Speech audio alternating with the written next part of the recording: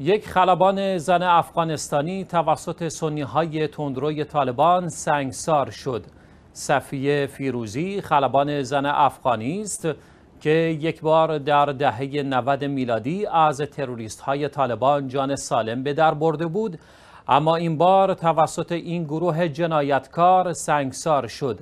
تروریست های طالبان زمانی که روی کار آمدند ادعای تغییر داشت و حتی اعلام کرده بود که زنان می توانند با رعایت پوشش اسلامی به کار خود برگردند. اما بسیاری از زنان شاغل افغانستان در هفته گذشته از کار بیکار شدند. اما در میان سرنوشت صفیه فیروزی از همه تلختر بود.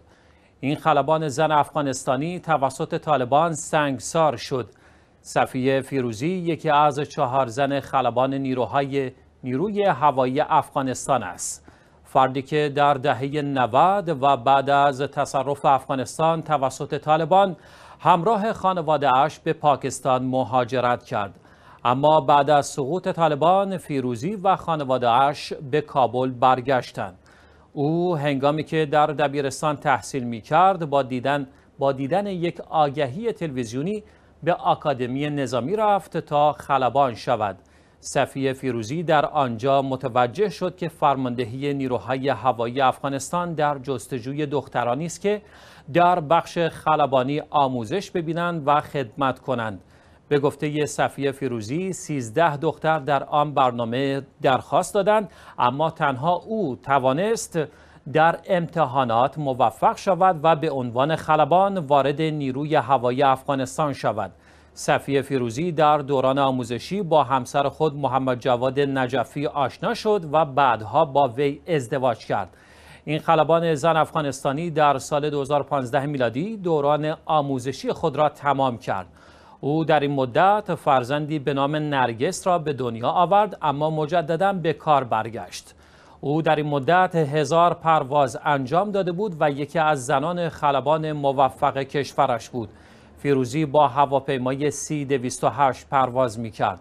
هواپیمای ترابری که گفته می شود در هنگام جنگ علیه دشمن بسیار مهم است به خصوص درباره کشور کوهستانی مانند افغانستان که از این هواپیما برای انتقال تجهیزات به نیروهای زمینی استفاده می شود بعد از سقوط طالبان کم کم زمینه اشتغال و فعالیت زنان در جامعه افغانستان فراهم شده بود و صفیه فیروزی می‌خواست بر دیگر زنان تأثیر بگذارد حتی اگر با چالش های بسیاری مواجه باشد. اگرچه او از اولین حمله طالبان به کشورش در امان ماند اما از دومین حمله جان سالم به در نبرد و سنگسار شد. جز او سه خلبان زن افغانستانی دیگر هم وجود دارد اما پیش از صفیه فیروزی نیلوفر رحمانی اولین خلبان زن افغانستانی بود که برنده جایزه بین المللی زنان شجاع از وزارت امور خارجه آمریکا شد. رحمانی سال 2018 به آمریکا پناهنده شد. البته برخی صفحات مجازی هم مدعی شدند وی سنگسار نشده و این خبر شایع است.